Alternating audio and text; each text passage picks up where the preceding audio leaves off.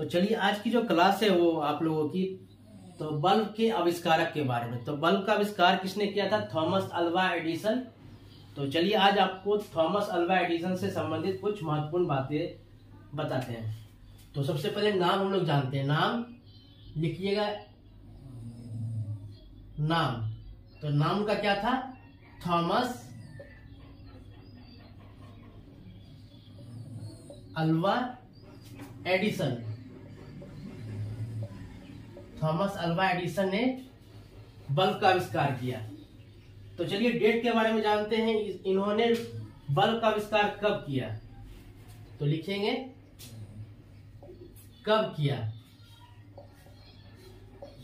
कब किया आविष्कार?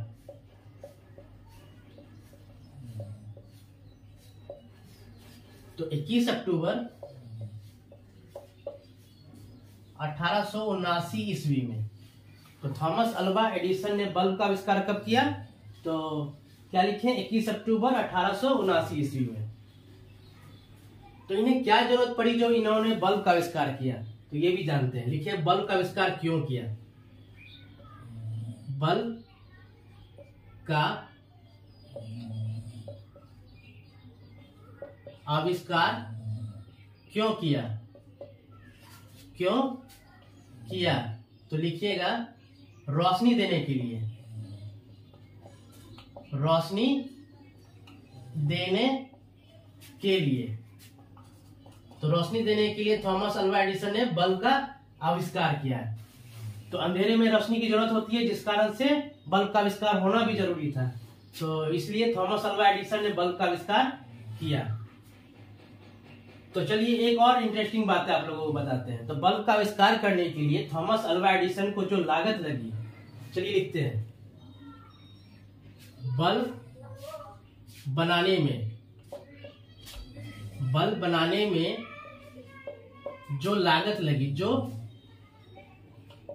लागत लगी तो लागत कितनी लगी थी? तो लिखेंगे चालीस हज़ार डॉलर ये अमेरिकन डॉलर थी। तो बल्ब बनाने में जो लागत लगी, थॉमस अल्वा एडिसन को कितनी लागत लगी? तो चालीस हज़ार डॉलर। तो चलिए इनका जन्म स्थान जानते हैं कहाँ के रहने वाले थे? लिखिएगा जन्म स्थान तो लिखेंगे ये अमेरिका के। अमेरिका के ओहिया। अमेरिका के ओहिया राज्य के, ओहिया राज्य के मिलान शहर। मिलान शहर में इनका जन्म हुआ। जन्म हुआ। तो चलिए जन्म स्थान के बारे में जान लिए। चलिए, इन्हें जो दफनाया गया इन्हें मृत्यु के बाद तो वो भी एक ऐतिहासिक पार्क थी। तो लिखिएगा, दफन कहाँ पे किया गया? दफन। दफन जो इन्हें किया गया तो लिखिएगा उसे। Thomas Thomas Edison